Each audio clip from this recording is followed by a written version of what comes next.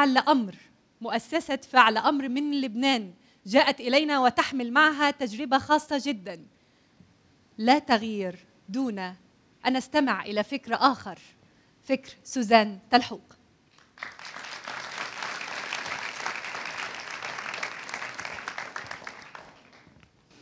مرحبا كيفكم؟ لا تغيير دون اللغة الأم. هذا شيء غريب. فكيف يعقل أن نقول شيء بديهي كهذا؟ لا يوجد أي مجتمع أو حضارة قد تقول الآن لا تغيير دون اللغة الأم. صحيح؟ ولكن نحن بما أننا كعالم عربي مميزون في كل شيء نقول هذا.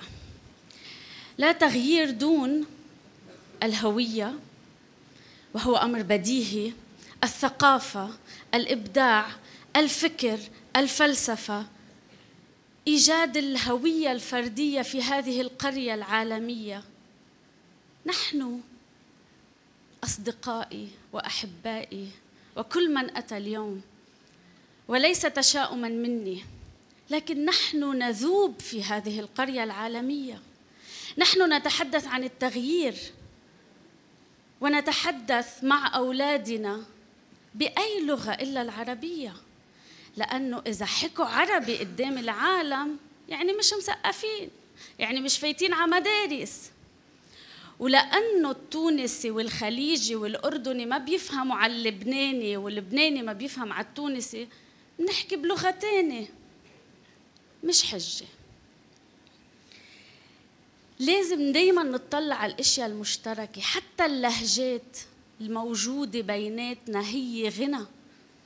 أنا بتعلم من مصطلحات موجودة بالأردن بتونس بالمغرب لأن كل مصطلح منا مرتبط بحياة بذكرى بثقافة نقال بمسرح برواية. اللغة مش طريقة حتى نتواصل فيها مع الآخر بس. اللغة الأم أمانة. من جيل لجيل لنقدر نوثق ما مر قبلا. وكيف سنكتب معا ما سيحصل في المستقبل. وإلا عن أي تغيير نتحدث. حتى التغيير مستهلك. ونحن نستهلك التغيير إن لم نحافظ على هويتنا الفردية.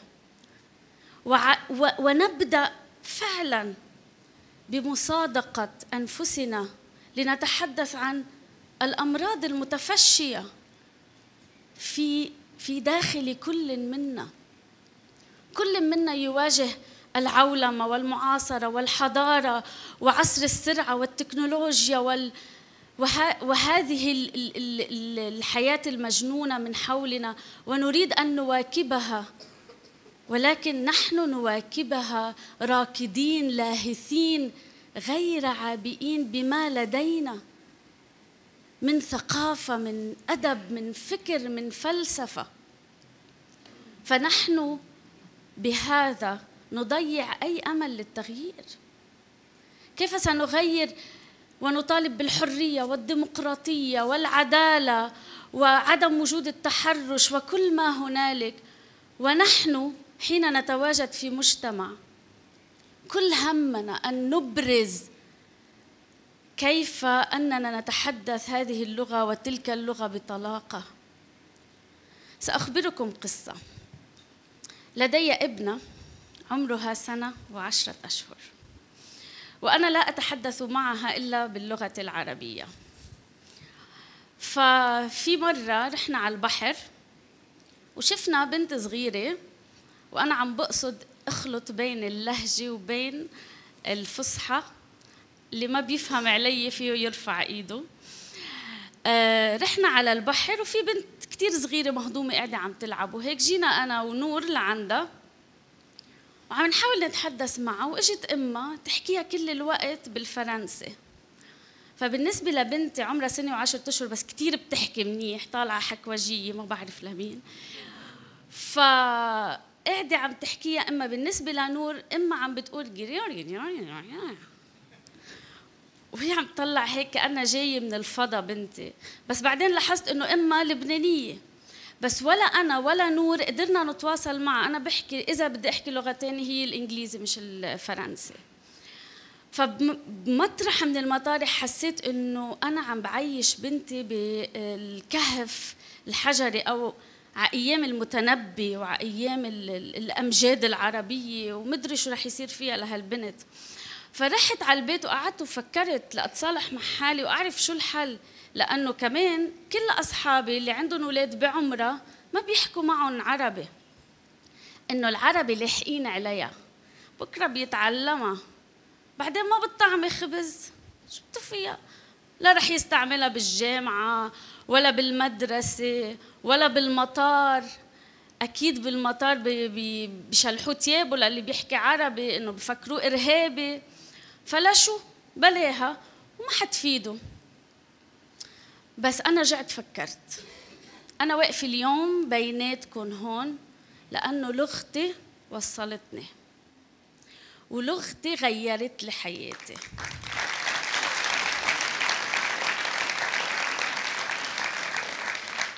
وأهم من هيك اكتشفت إنه الآخر ما بيحترمنا.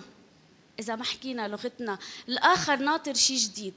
مش ناطر يشوفنا لابسين مثله وبنحكي مثله وبنتنفس مثله وبنحضر أفلام مثله وبنقرا شعر مثله لا ناطر شيء جديد. من شان هيك كان في حركة عالمية من من التاريخ القديم اسمها المستشرقين. لأنه لقوا في غنى هون. فاللغة هي اللي بتعطينا هويتنا الفردية بين كل هالعالم الكبير وهي اللي بتخلينا كلنا سوا نفهم بعض لأنه هي منا مصطلحات.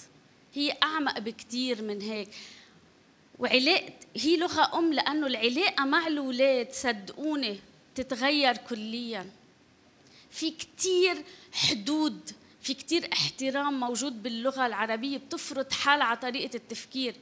فالأهل هن لازم يختاروا إذا بدهم علاقة سطحية بس للعالم يقولوا عنهم كول وإن وفايتين بالجو مسقفين أو بدهم أولادهم وهيدي مسؤولية وواجب يفهمون يفهموا أهلهم شو خبرون وعمق هيدي العلاقة يختلف كليا عن السطحية والإستهلاك اللي نحن مفكرينه هو.